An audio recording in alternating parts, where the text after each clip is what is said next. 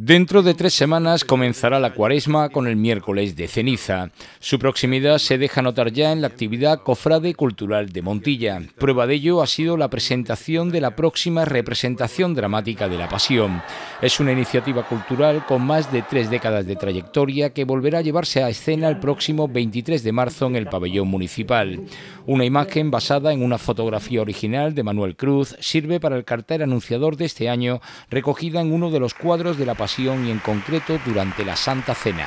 Que cuando vamos a decidir sobre carteles tenemos bastantes fotógrafos o, fotos bastante buenas, pero, pero de luego Manuel Cruz yo creo que lo ha abordado. Eh, el cartel me parece una técnica también novedosa porque le da un cierto aire también pues no sé si decir, yo que no entiendo de esto, pero como si fuera cómic en algunos momentos, así unos rasgos, pero la verdad es que yo lo veo luminoso, muy bien, muy bien encuadrado y yo creo que vamos, vamos a disfrutar, vamos, me parece que está muy bien. Bueno, y Manuel Cruz ya lo conocemos todos, que, que es un, un tío fantástico, ¿no? La presentación del cartel supone la puesta de largo en público de la nueva Junta Directiva de la Asociación Cultural Representación Dramática de la Pasión. Inicia esta nueva etapa con los preparativos de la obra que podrá verse en marzo y con el reto de ir incorporando más personas al proyecto. Su presidente Manuel del Árbol asegura que para este año no habrá grandes novedades, aunque deja entrever que ya se están preparando cambios para la representación del año que viene.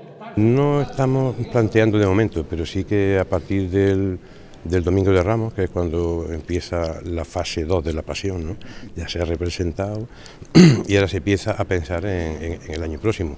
Pues tenemos algunos proyectos, no sé si se cristalizarán o no, pues no sé, hay que cambiar cosas, hay que cambiar el modo de ver algunos cuadros con luces o algunos talones, algunas cosas, pero la pasión siempre tiene alguna novedad, siempre hay algún carácter nuevo que sale en alguna representación que le da un aire diferente, yo qué sé, hemos tenido varios Herodes, varios no sé qué, varios Pilatos, y, le da una impronta diferente. Entonces yo creo que siempre tiene algo, muy curioso que, que, ver, ¿no? interesante.